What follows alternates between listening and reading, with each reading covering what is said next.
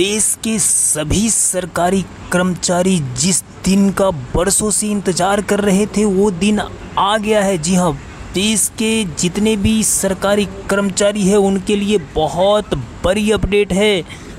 अभी तक आप सुन रहे थे कि पुरानी पेंशन योजना लागू होगा, मोदी सरकार लागू करेगी लागू करेगी, लेकिन बहुत बड़ी अपडेट आ गई है। जी हाँ सुप्रीम कोर्ट ने पुरानी पेंशन योजना बहाल कर दी है और सरकार को सख्त आदेश दिया है कि 4 मई 2024 से पुरानी पेंशन योजना लागू किया जाए। जी हाँ बहुत बड़ी अपडेट। पूरे अपडेट को हम डिटेल में बताने वाले हैं। आपको उससे पहले बता दें कि पुरानी पेंशन से रिलेटेड, केंद्रीय कर्मचारी से रिलेटेड कोई भी अपडेट सबसे पहले हमारे चैनल के माध्यम से आपको दिया जाता है। तो अगर आप हमारे चैनल पर नए हैं तो हमारे चैनल को सब्सक्राइब कर लीजिए। चलिए पूरे डिटेल में देखते हैं। आप अपने स्क्रीन पर देख लीजिए, नई दिल्ली एनपीएस कर्मचारियों के लिए पुरानी पेंशन बहाली पर सुप्रीम कोर्ट में केस जीतने के लिए खुशखबरी। जी हाँ सरकारी कर्मचारियों को उनकी नियुक्ति की तारीख से पुरानी पेंशन के सभी लाभ दिए जाए। यह सुप्रीम कोर्ट का ऑर्डर है। जी हाँ बहुत बड़ा अपडेट है। आप देख लीजिए यहाँ पर कि नई दिल्ली पुरानी पेंशन की बहाली पर सुप्रीम कोर्ट ने एनपीएस कर्मचारियों के जीतने के मामले में खुशखबरी। सरकारी कर्मचारियों को उनकी नियुक्ति की तारीख से पुरानी पेंशन के सभी लाभ दिए जाए।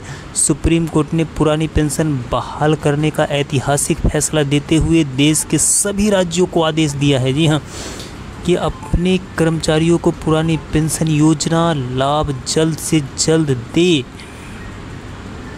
यहाँ पर आप देख लीजिए कि सुप्रीम कोर्ट के इस फैसले के सभी कर्मचारियों के चेहरे पर एक बार फिर खुशी का लहर दौड़ गई है। सुप्रीम कोर्ट इस ऐतिहासिक फैसले में अब देश के सभी राज्यों के सरकारी कर्मचारियों को उनकी नियुक्ति